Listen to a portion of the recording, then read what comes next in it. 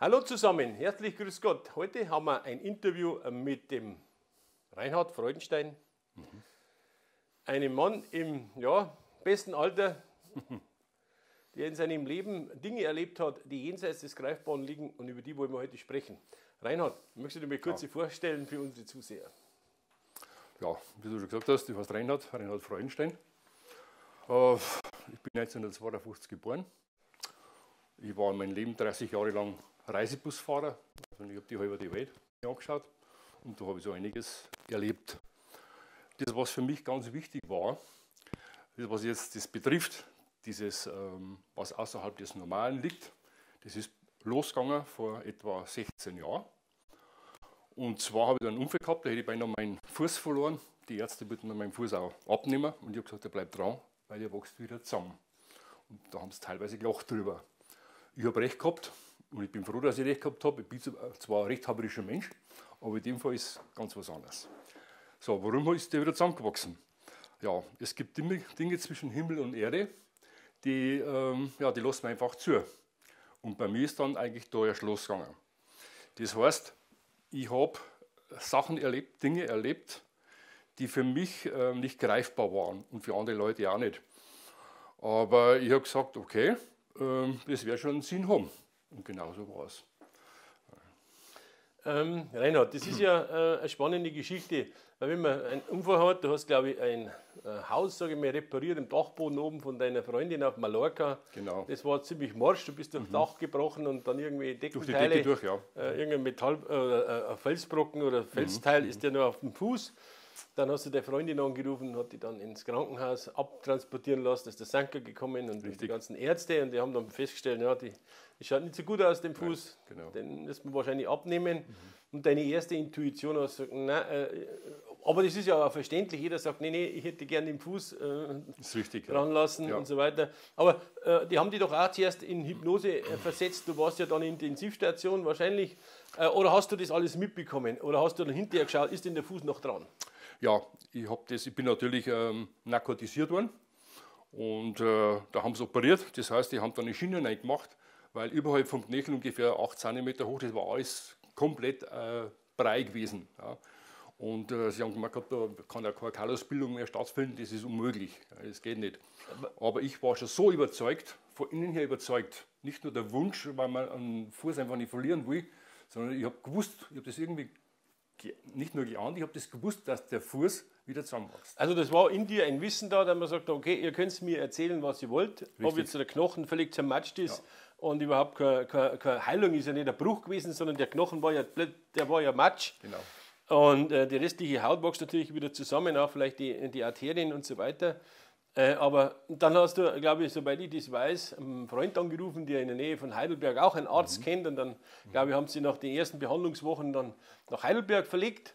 Genau. Und auch die Diagnosen, den Ärzte haben gesagt, okay, äh, lieber Reinhard, das ist schön, aber wir müssen leider deinen Fuß abnehmen. Genau. Also das ist schon das zweite Ärzteteam, die gesagt hat, aus diesem Fuß wird nichts mehr, mhm. äh, das gefährdet dein Leben, äh, der muss ab. Und dann hast du gesagt, nein, ich, ich möchte ihn gerne, dass er dran bleibt. Genau, richtig ja, das war dann äh, Heidelberg respektive in Langensteinbach, das ist in der Nähe von Heidelberg, eine Privatklinik und mit dem Chef, den Professor Diem, der Kurt Diem, wir sind eigentlich wie Freunde gewesen, da hat die Chemie von ersten Moment aus gestimmt mhm. und der hat mich sehr, sehr unterstützt und äh, ja.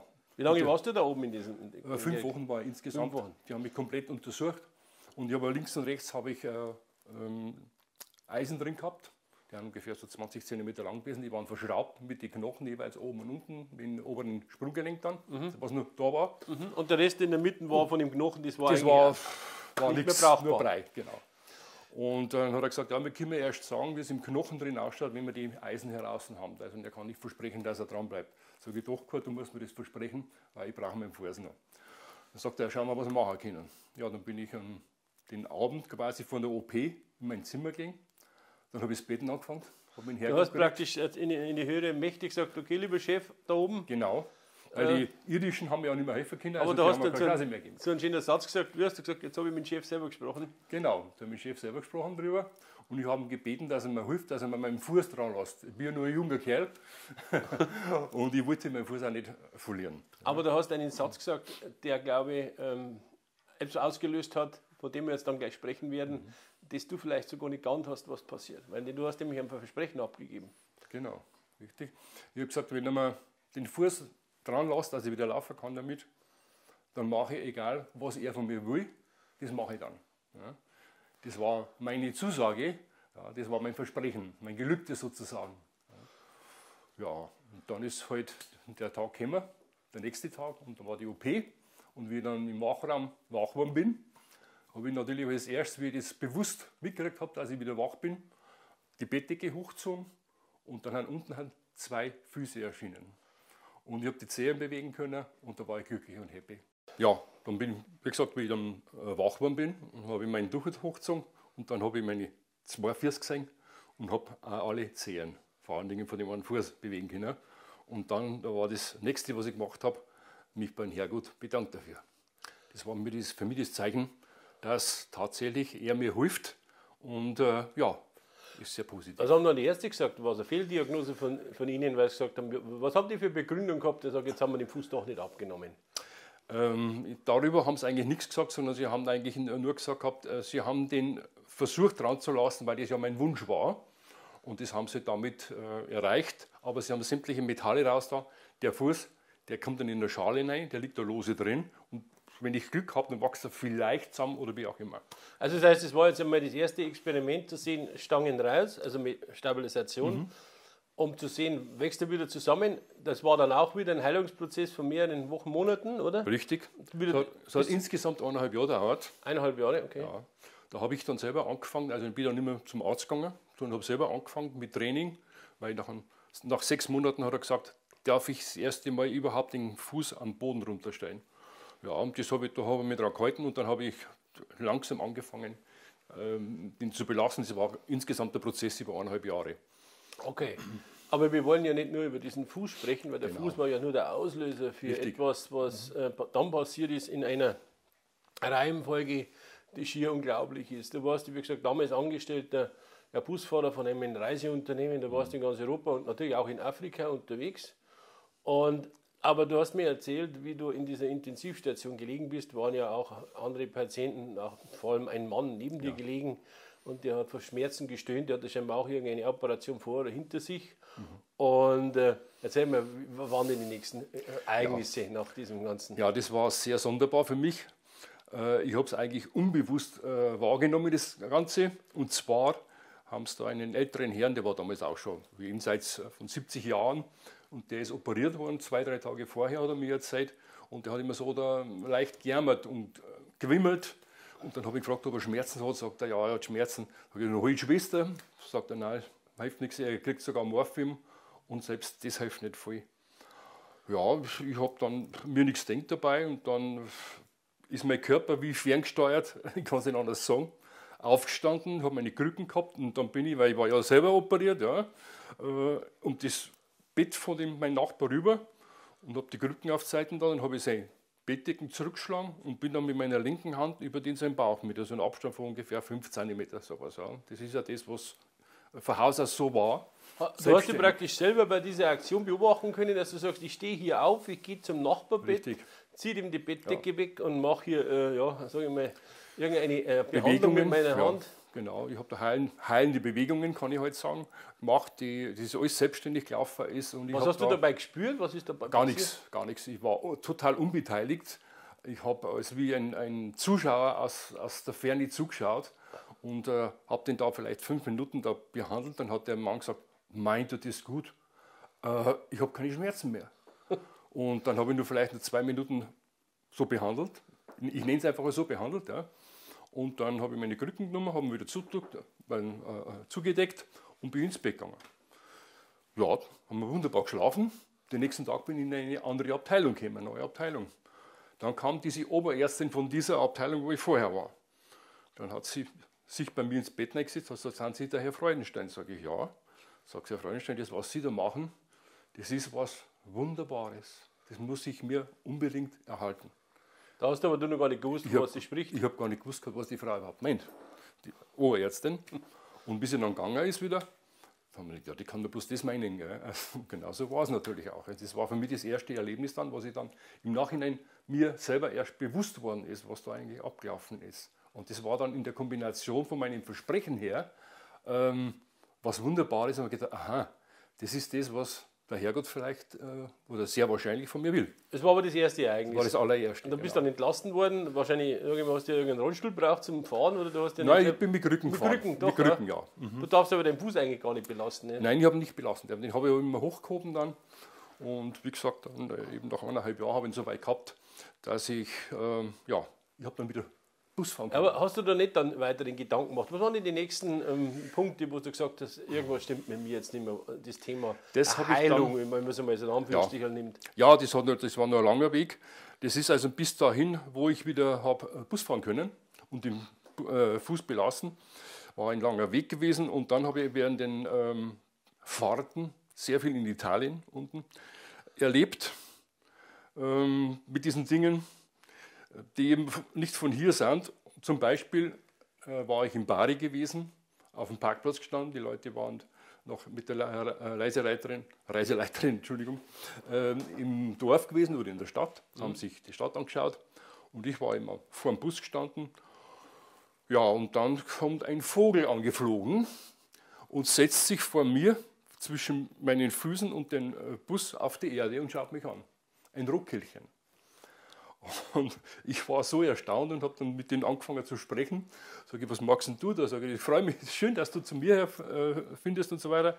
Habe mich instinktiv, sage ich mal, runtergebeugt und nach dem Vogel gegriffen. Der hat sich auch nehmen lassen und ich habe auf die Hand gesetzt und haben nur so angeschaut. Und der hat keinerlei Anstrengung gemacht, dass er irgendwie ängstlich wäre oder so. Sage ich, du weißt was, jetzt gehen wir in den Bus rein, ich setze mich da hin und dann mache ich ein Foto von dir.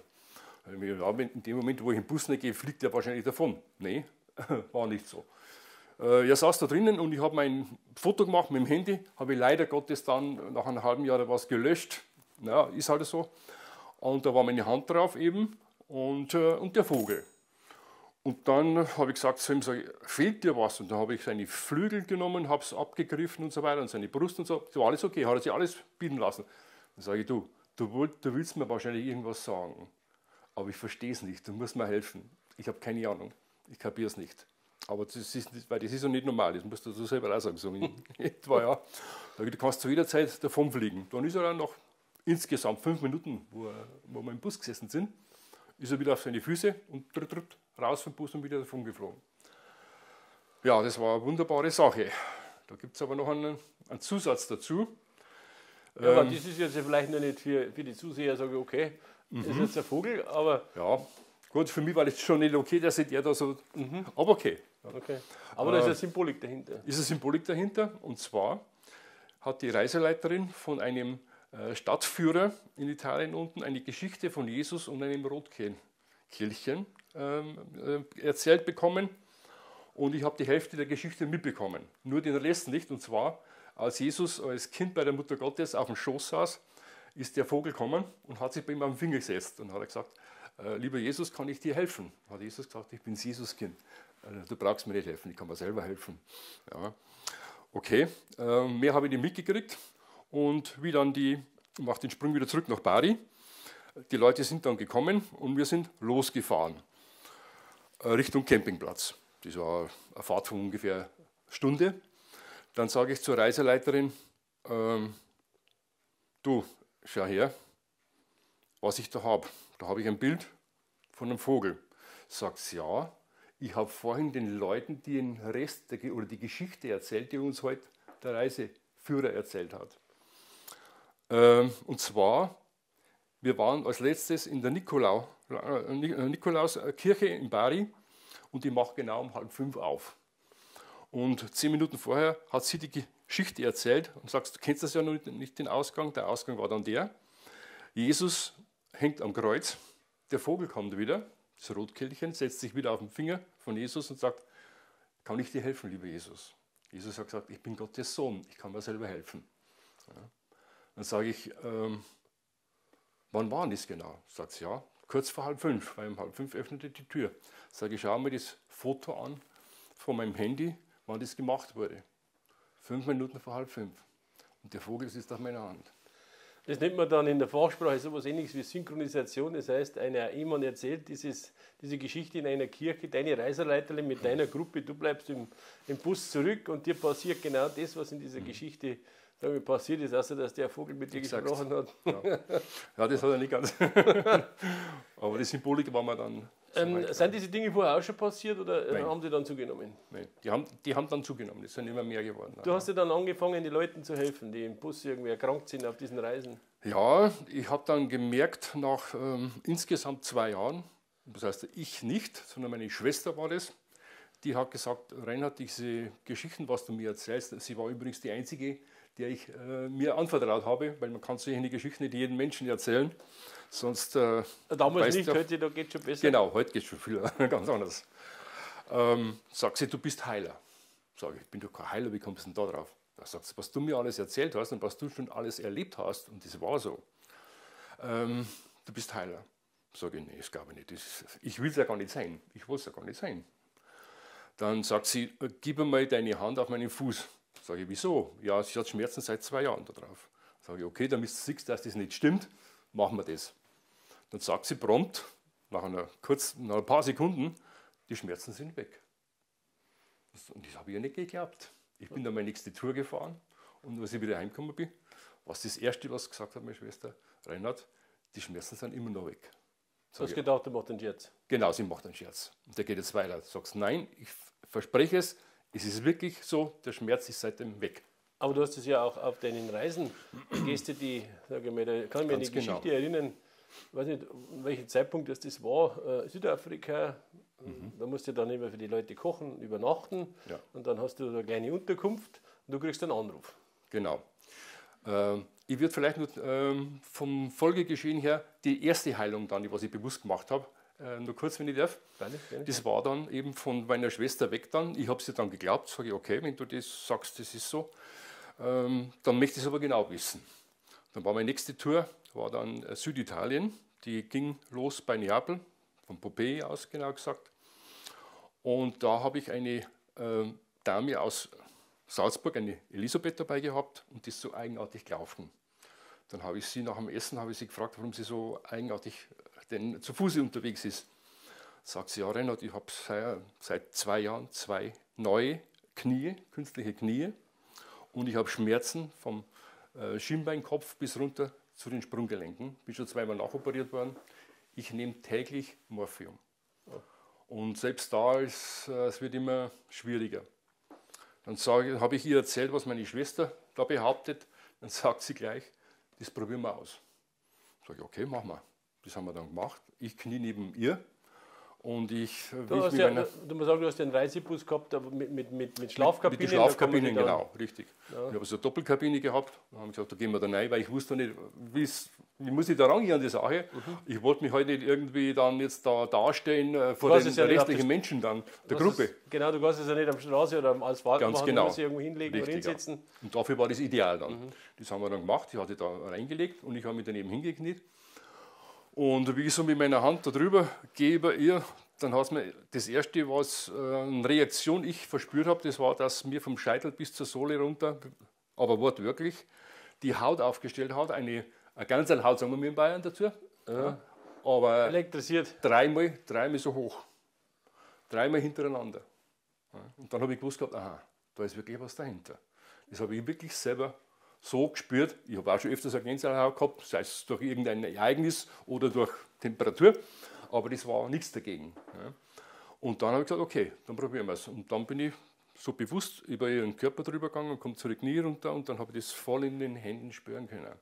Das heißt, ich kann seitdem in den Händen äh, Dinge spüren, die auch nicht normal sind. Das kann ein Zwicken sein, kann ein Stechen sein, das kann eine Kälte, ein Temperaturunterschied sein alles Mögliche. Es gibt Dinge, von denen ich habe vorher überhaupt nicht äh, die Ahnung gehabt, dass es eine Gefühle überhaupt gibt. Okay, äh, in den Händen hast du praktisch jetzt eine neue Sensorik, da wo du die Ganz genau. Krankheiten genau. oder irgendwo eine Reaktion hast, wenn du da Richtig. Bist. Also ich kann feststellen, dass da etwas nicht in Ordnung ist. Mhm. Ich kann nicht sagen, was es ist. Ich bin ja kein Mediziner und kein Arzt, um Gottes Willen, weiß ich weit von mir. Und ich kann das fühlen. Und ich habe mittlerweile dann sehr, sehr schnell gelernt, dass wenn, solange ich etwas fühle da und kreise, dann ändert sich da was. Es muss zwar nicht sein. Der Prozentsatz ist sehr, sehr hoch bei den Leuten, wo sich etwas verändert. Es gibt zwar auch, wie man so sagt, vielleicht resistente Zeitgenossen, da also funktioniert es nicht. Es gibt natürlich kein hundertprozentiges Versprechen, aber genau. du, du, hast eine sehr hohe Anzahl von Personen, die sagen, nachdem, dass du hier mit, ja. deine, sage ich mal, mit deiner Energie, wenn man es mal so sagen darf, mit deinen, mit deinen, meinen Bewegungen äh, an meinen ja, Verletzungen hier arbeitest, deswegen, ja, desto schmerzfreier wird das Ganze. Das ist offensichtlich, das ist eine Energie, die habe ich erhalten bei einer speziellen Sitzung einmal. Ähm, aber das ist wieder ein anderes äh, Thema, das können wir auch nochmal aufnehmen, wenn es dich interessiert. Den Leuten interessiert es bestimmt, was wirklich interessant ist. Und mit dieser Energie darf ich da offensichtlich arbeiten. Ja, und die ist heilsam, ich nenne sie, weil ich habe keinen anderen Begriff dafür, das ist die göttliche Heilkraft der Liebe. Mhm. Ja, habe ich von Jesus gekriegt. Und mit der kann man wirklich heilen, nur derjenige, der geheilt werden will, muss auch wirklich geheilt werden wollen. Hildegard von Bingen hat schon gesagt, es gibt für jede Krankheit ein Kraut. Und sie hat offensichtlich recht. Aber es gibt nicht, äh, oder es gibt Leute, die kann man nicht heilen. Man kann nicht jeden heilen, weil er nicht, nicht einfach nicht dazu bereit ist, aus irgendwelchen Gründen. Halt. du kannst weiß er selber nicht einmal. in seinen freien Willen eingreifen. Du Ganz kannst genau. ihn anbieten, mhm. ich kann durch dich so durch ja. diese, diese Heilenergie fließen lassen. Du mhm. bist scheinbar ein Kanal für diese Energie, genau. für diese, für diese Richtig. Ich bin kein Heiler. Diese, diese ja. Liebe, du bist praktisch nur jemand, der sagt, ich bin genau. das Gefäß, so durch das es fließt. Mhm. Was hat die Frau dann nach dieser Behandlung gehabt mit, ihren, mit ihrer Hüfte, mit ihren Knien und, und dem Ganzen? Also bei der war es dann so, die hat gesagt gehabt, während der Behandlung noch, das tut gut. Das tut so gut. Und dann ist aufgestanden, das war vielleicht insgesamt eine knappe halbe Stunde, wo wir da äh, verbracht haben. Dann ist sie aufgestanden, sie hat gesagt, sie, sie kann gehen und, und, hat überhaupt keine Anzeichen von irgendwelchen Schmerzen. Gut, die, äh, sie hat die Medikamente, respektive äh, das Morphium ja noch äh, genommen gehabt tagsüber. Und dann hat die nächste Frage war bei ihr, kann ich das Morphium weglassen? Sage ich, du, das weiß ich nicht, ich bin kein Arzt, aber ich habe, halt, was ich weiß, so als Laie, dass das nur ein, ein Schmerzmittel ist, ja, aber kein Heilmittel. Aber ich würde es auf alle Fälle aufbewahren, wenn die Schmerzen wieder kommen sollten, dann kannst du es ja wieder nehmen. Also Reinhard, die Anwendung bei deiner Dame, äh, die im Bus mitgefahren ist, war ja. sowieso schon interessant, dass sie sich dann doch noch so eine Reise antut, wo sie weiß, dass sie eigentlich nur Schmerzen hat und will aber trotzdem was erleben. Dann hat sie das Morphium dann weggelassen. Was ist dann passiert? Äh, sind die Schmerzen wieder aufgetaucht? Nein, die Schmerzen sind nicht wieder aufgetaucht. Sie waren weg, sie sind weggeblieben während der ganzen Reise. Ich habe sie dann insgesamt dreimal äh, behandelt mit meiner Hand.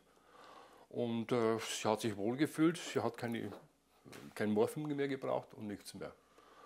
Ich war dann, das war ein größeren Sprung, äh, nach ein paar Jahren, das waren mindestens zwei Jahre später, in Salzburg gewesen wo sie eben wohnt. Und ich habe ihre Adresse dabei gehabt, zufällig. Und denke mir, ach, da fährst du jetzt mal hin. Einfach so, vielleicht triffst du es an. Ja, sie war daheim, ein riesen Hallo. Dann das Erste, was ich zu ihr unter dem Türstock noch gesagt habe, sage ich, Elisabeth, wie geht's dir denn? Sagt sie, was meinst du?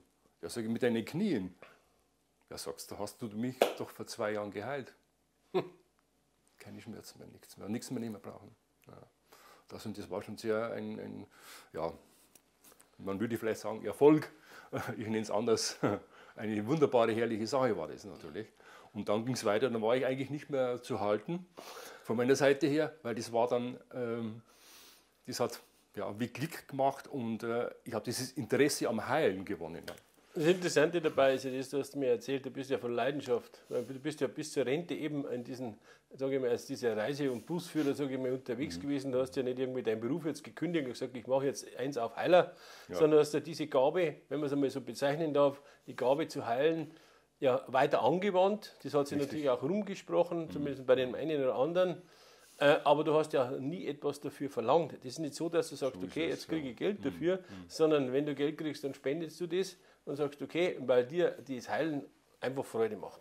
Genau, das ist, das ist so, das ist, weiß ich, das ist in mir drinnen auch. Und das ist wie eine Botschaft, die angekommen ist. Für, dafür äh, brauche ich auch nichts verlangen, verlange ich auch nichts. Wenn die Leute auch fragen, ja, was kriegst du jetzt dafür? Sage ich ja nichts. Wenn du eine Spende machen willst, dann ist es okay.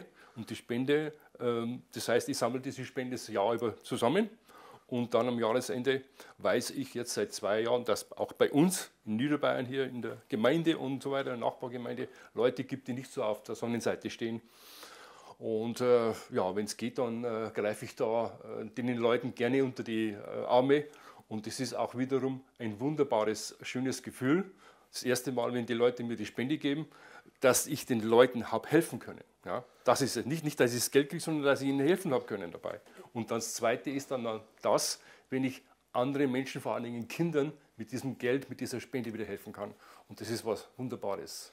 Ich möchte noch auf, eine andere, äh, auf ein anderes Ereignis eingehen, auch Südafrika, da haben wir vorher schon mhm. gesprochen, wo ja. du auch eben eine Reise gehabt hast und ähm, da war auch ein, ja, bist untergebracht in einem kleinen Zimmer und du bekommst aber einen Anruf von jemand. Ja, es ist so, ähm, das Südafrika, da habe ich zwar ein, ein, äh, ein Paar, ein Elternpaar dabei gehabt aus äh, Itzehoe. Und äh, der Peter, ich darf den Namen so sagen, der hat ein Problem gehabt mit seinem großen Zeh, der ist an der, irgendwo am Stein hängen geblieben, einen großen Zehennagel und hat sich den nach oben weggerissen gehabt. Also der war nur noch an, an den Wurzeln gehangen. Und der ist gekommen und äh, hat mich gebeten, äh, ihm zu helfen, weil er seine Schmerzen hat und weil es natürlich ziemlich geblutet hat. Ich sage, ja, ich komme gleich und habe ich auch gemacht. Dann habe ich ihm den, mit meiner Hand bin ich da drüber, habe ich da gekreist und dann habe ich langsam den Nagel wieder runterdrücken können, ohne dass der Schmerzen gehabt hätte oder was. Die Schmerzen waren auch weg und das Bluten hat auch aufgehört. Und dann habe ich gesagt, du, ich würde sagen, ziehst einen leichten Socken drüber und ich lasse auch in der Nacht dann, damit die Bettdecke den nicht wieder malträtiert. Ja, genau. So, das war okay, das ist wunderbar gegangen. Der ist dann später abgegangen, natürlich der Nagel, das ist schon klar. Aber er hat momentan war ihm geholfen. Mhm. Genau. Und ein paar Tage später kommen sie wieder zu mir und sagen, Reinhard, bitte hilf. Äh, unsere Tochter, die ist in Hamburg in der Universitätsklinik. Sie ist Studentin auch, ja. Noch während, noch während dieser Reise? Während dieser Reise noch, ja. Und äh, die ist in der Uniklinik und die Ärzte sagen, sie wissen nicht, was sie machen sollen. Sie stirbt ihnen unter der Hände weg. Unter der, ja, sie können nichts machen. Hat die äh, äh, Blutvergiftung oder, oder? Das, das, wussten sie selber nicht, was sie genau gehabt hat. Die Blutwerte waren im Keller. Alle Werte, was man so hat, äh, auch die Leberwerte waren im Keller gewesen bei ihr. Und äh, wenn sie was gegessen hat, dann hat sie es wieder gebrochen. Und äh, sie konnte dann nicht aufstehen, weil sie, es ist ja total schwindlig geworden. Und die Ärzte haben praktisch die Eltern darüber informiert, dass die Tochter im Krankenhaus liegt und dass sie... Ganz genau, richtig. Wollten ja. die dann die Reise schon abbrechen oder die sind dann zuerst zu dir Die gekommen? haben schon über, überlegt gehabt, also es zumindest mit äh, in Erwägung gezogen. Und dann haben sie gesagt gehabt, jetzt warten wir aber nur, nur ab, äh, was da ab dem Krankenhaus so passiert, die nächsten paar Tage. Auf jeden Fall, ähm, ja, bitte Reinhard, hilf. Sag ja, okay, ich versuche, vielleicht kann ich da was machen. Ich meine, wir sind in Südafrika und das ist in Hamburg. Okay. Ähm, dann habe ich den Peter gefragt und die Barbara, habt ihr von der Tochter ein Bild? Dann hat er mir ein kleines äh, Bild gegeben, ein altes. Sagt er, anderes hat er leider nicht, sage ich, spielt keine Rolle. Und ich habe damals, in, äh, das war in, ähm, ja, fällt mir da noch nicht ein, ganz unten am Spitz, nicht Johannesburg, sondern die andere Seite unten. Okay. Ja, irgendwo in Südafrika. Ja, ähm, nee, nee, nee äh, Namibia, sage ich jetzt mal. Mhm. Ja. Ähm, da habe ich ein kleines Quartier gehabt, ein Zimmerchen mit einer Schiebetür, das ist so ein altes äh, ja, Zimmer gewesen. Und da ist auf Rollen ist diese Tür gelaufen und wenn man die auf und zugestimmt hat, ist ratter, ratter, ratter, wie die alten Eisenbahnwaggon äh, hat das gemacht. Aber das war äh, kein, kein Problem. Ich habe da ein Bett gehabt und ähm, äh, Nachttischel und eine Lampe drauf. Mhm, das heißt, deine, deine, deine Gäste im Reisebus haben im Reisebus, haben im Reisebus geschlafen, genau. genau. richtig. Und ich habe da so ein kleines Zimmer gehabt, dass man richtig ausschlafen äh, kann und einfach, man hat ein anderes Gefühl dann, wenn man weiß, es trampelt in der Nacht oder es läuft keiner rum und so weiter, man wird irgendwie gestört. Mhm. Ja. Oder man fühlt sich vielleicht äh, gestört. Gut. Und dann bin ich, ähm, das weiß ich noch so genau, um 9 Uhr abends bin ich dann ins Bett gegangen oder in das Zimmer rein und habe mich dann auf die Bettkante gesetzt und habe das Bild an die Lampe gestellt, habe dann mit dem äh, Herrgott äh, wieder angefangen zu sprechen, mache ich sehr, sehr oft, eigentlich täglich, und habe ihn gebeten, äh, dass er der Tochter von den beiden hilft. Die war nämlich auch in der 21. Woche schwanger. Die und Tochter? Die, die Tochter, ja. Mhm. Und da haben die Ärzte auch gesagt, also sie haben Angst, dass sie das Kind auch verliert. Also lange kann, kann das, geht das nicht mehr gut so. Mhm. Ja, äh, das habe ich dann so formuliert gehabt und ja, gut. Haben noch zwei, drei Vaterunser dazu gebetet und dann haben wir hingelegt und habe wunderbar geschlafen. Und dann bin ich in der Nacht, mitten in der Nacht, ich habe nicht auf die Uhr geschaut, aber es müsste so um, um 1 Uhr nachts gewesen sein, bin ich geweckt worden. Und zwar in der Form, dass jemand mich an der Schulter genommen und, und so, also so bin ich drin gegangen und wachgerüttelt hat. Dann habe ich die Lampe angemacht, jetzt ist die Tür zu, ist niemand da. Dann setze ich mich ins Bett rein, ja, und dann kommt das Unglaubliche. Äh, es ist gar nicht so einfach, darüber zu reden. Dann höre ich eine Stimme, so wie ich mit dir rede, so wie wir uns unterhalten. Das heißt, es war ein Monolog. Ich habe keine Fragen gestellt, das ist nichts, sondern es war eine Stimme und die hat laut und deutlich und klar gesagt, die Eltern brauchen keine Angst haben, die Tochter wird wieder gesund, respektive die Tochter ist wieder gesund, nur die Leberwerte die kriegt sie erst in einer Woche mitgeteilt, aber es ist alles in Ordnung. Und der kleine Richard ist auch gesund. Den geht es gut. Sie brauchen sich um nichts Sorgen machen. Das war die Botschaft. Das war kein Traum. Und ich habe mich wieder hingelegt, das Licht ausgemacht und habe wunderbar weitergeschlafen. Dann in der Früh beim Frühstück habe ich die zwei dann aufgesucht, habe mich zu ihnen hingesetzt.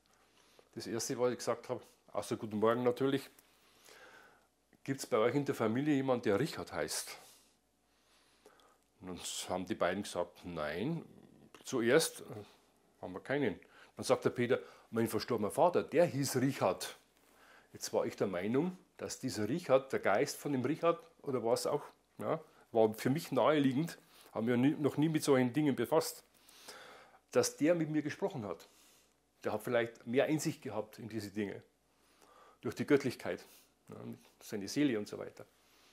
Tja, einen Tag später kommen die beiden wieder zu mir. Die Tochter hat heute angerufen, sie ist entlassen, als geheilt entlassen worden. Alle Blutwerte, alle Werte sind in Ordnung, nur die Leberwerte, die wissen es noch nicht, die kriegen es erst in einer Woche. Und genau so war es. Von daher war alles top. Ich bin dann ein halbes Jahr später, in, oder fast ein Dreivierteljahr später, in äh, Norwegen gefahren, an einem Sonntagnachmittag, wunderbares Wetter. Ich erwähne es einfach so, was man so zu dem Bild gehört hat und mich ja äh, stark geprägt hat auch. Und während der Fahrt um 4 Uhr Nachmittag plötzlich habe ich das Gefühl, dass wenn jemand, ich, ich, ich beschreibe es so, wenn du mit einem spitzen Bleistift über die, um die Gürtellinie mit einer schnellen Bewegung um den ganzen Leib rumfährst. Ja? So leichtes Kratzen, aber sehr angenehm. Wunderbares. Und in dem Moment wusste ich, ah, der Richard ist auf die Welt gekommen. Ja, das war einfach für mich klar. Das war das Zeichen, was ich gekriegt habe. Richard ist auf die Welt gekommen. Dann am Abend ruft mich der Peter an sagt, Reinhard, weißt du, was heute passiert ist? Sag ich, Richard ist auf die Welt gekommen. Sagt er, Jein. Sag ich, wieso Jein? Sagt er, ja, es ist ein Mädchen. Sag ich, oh, was ist da schiefgelaufen? Und dann haben wir hin und her überlegt und sage, ja, Sage ich, hast, hab's richtig hingeschaut? Ja, wir haben dreimal hingeschaut. das ist ein Mädchen. Okay, das war alles soweit dann genehmigt. Dann bin ich ein Jahr später in äh, Sizilien, in Palermo. Die Leute sind wieder zu Fuß unterwegs. Ich sitze im Bus und lese. Dann plötzlich äh, habe ich diese Erkenntnis, was das war, warum das so gelaufen ist. Und das hat jetzt mit Reinkarnation zu tun. Ich wusste dann, das war, ich nenne es auch immer so, wie wenn ein Indianer mit dem Pfeil durch meinen Kopf geschossen hätte und die Nachricht hinterlassen hat, warum das so war. Warum dieser Richard also, also ein Mädchen ist. Und zwar ist er der Opa quasi von dem Mädchen, äh, der Uropa, als Mädchen auf die Welt gekommen, der früher Richard hieß. Und darum hat diese Stimme zu mir gesagt, also den kleinen Richard geht es gut, also der, der, wusste schon mehr. Ja. War sehr interessant. Das, äh Reinhard, das ist unglaublich fantastische Geschichte und äh, du hast ja noch viel mehr von diesen Dingen erlebt. Das ist ja, ja schon richtig, richtig. Das sind wenige gewesen. Genau. Aber wenn wir noch mal kurz zurückkommen, dein mhm. Fuß ist ja heute geheilt, auch zwei ja. Jahre danach waren ja. die, sicher die Ärzte alle überrascht, dass das auch doch ja. funktioniert. Die mhm. konnten sich wahrscheinlich auch keinen Reim drauf machen, oder wie das möglich so ist. So ist es, die haben selber von Wunder gesprochen. Mhm.